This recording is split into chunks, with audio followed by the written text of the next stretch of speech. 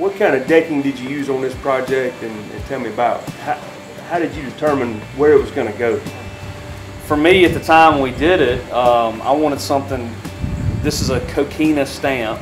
Uh, it's a brown colored concrete. It's not just your regular gray concrete, and um, it mimics a rock salt finish concrete. So rock salt, all it does is it leaves an impression in the deck. If you throw the rock salt, you know this. But uh, when you do that and your foot is on that rock salt or the impression there, it's kind of alleviating some of the heat. And so again, I'm thinking about kids and I'm thinking uh, I want something that's going to be cool.